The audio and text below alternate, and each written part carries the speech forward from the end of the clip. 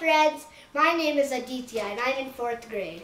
This is the science experiment that I did this year. It is which material is the best conductor of electricity. And and and for that you need for that you need a bulb a battery holder which consists of four 1.5 bat volt batteries and I are double A and I already put them in.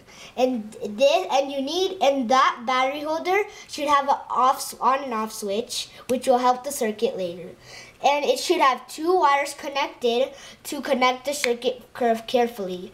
This is actually a 6 volt bulb. The reason why is because 1.5 times 4 is altogether equal to 6. So it has to be equal to the bulb. And this is a 6 volt bulb holder, which it's best if it has screws to connect the circuit.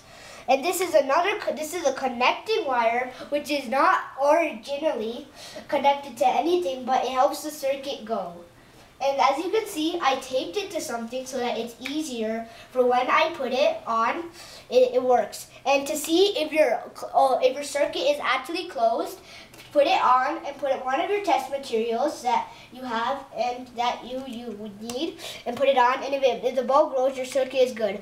And these are the test materials that you can use. And you can use any test material you want. And then um, just, just make sure it's a conductor and this is and the the test materials I'm going to use is silver, copper, lead, which is made of carbon, and graphite lead, which is made of carbon. And in normal times, like olden days, it was actually called lead. And in the olden days, when people touched it, they got diseases and some of them died. So they uh, they took lead and they mixed graphite to it, which made it graphite lead, which is actually non-toxic. This is an iron nail, and this is aluminum foil. And to start with, to start with, you should make the circuit, mm -hmm. and to make it easier, you can tape it to somewhere so that you can. You all you have to do is place it down so that the bulb will go. So then first, take your batteries and keep it to on. Then set up, then keep it like this. Now take one of your test materials and put it on. Put it on the circuit and um, it might take a while sometimes just for it to work so be patient with it. Mama.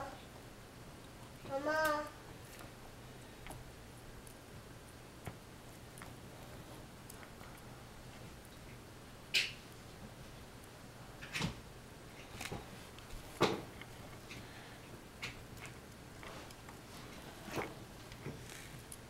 Okay, I guess this isn't working right now. I'll just take aluminum foil.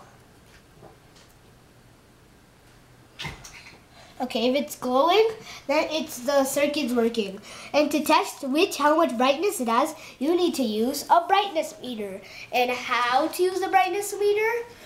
Then you first you have to make it. So you how to make the brightness meter is take a normal A4 size paper, which is letter size in 8 by 11.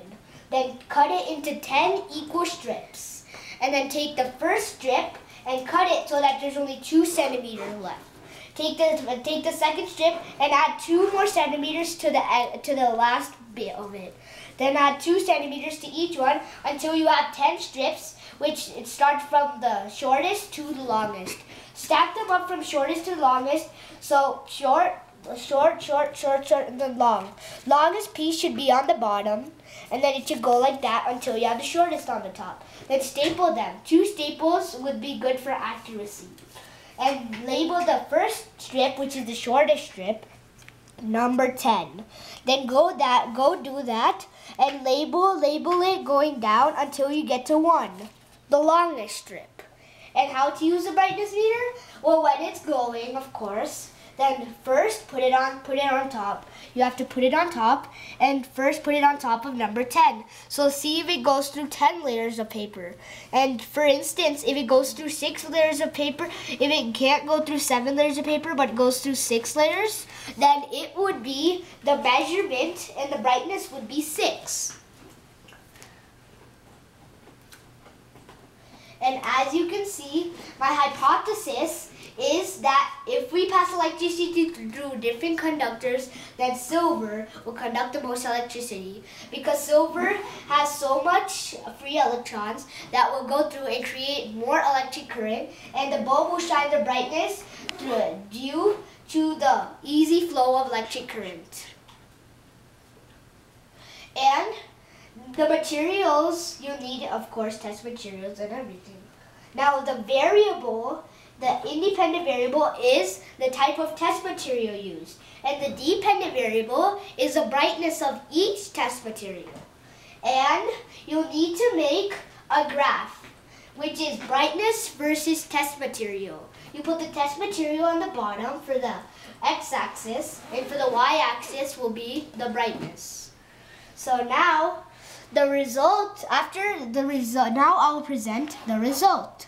After setting up the conductivity apparatus as shown in pic 1, the degree of conductivity of each test material was experimented three times. And as you can see, silver got the most. The result is shown in graph A. And as you can see, silver got the most, which is 7 and um and then I uh, I got the first one seven, then six seven, and since I took the most occurring, it was seven, and the the second one was copper with five with six. Then after that, it, it, it was aluminum with a brightness of five. And then after that, it was iron with a brightness of four. And finally, with only a little spark was graphite lead. And as you can see, even in the picture, you can see that graphite light only brought a spark, but silver brought the whole room to a light. So as you can see, if I put silver here, it will bright as big as a star. But if I bring graphite, it only gives a little spark. And be patient with graphite because graphite is only very small and it takes some time. So graphite can only bring a little spark. You have to be patient with it.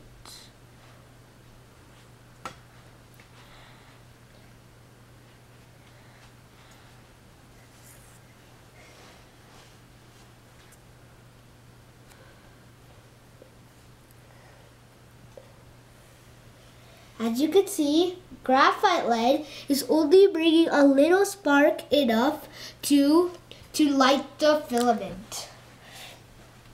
And the, uh, if we pass electricity through different conductors, then silver will conduct the most electricity. My hypothesis was supported because when current was passed through the test material silver, the bulb showed the most brightness of 7 compared to the other test materials the scientific fact I learned from this experiment is that all conductive materials do not have the same amount the same amount of conductivity. And every test material and everything you see around here consists of atoms. And atoms is made out of a nucleus, neutrons, protons, and electrons. This is an atom, an atom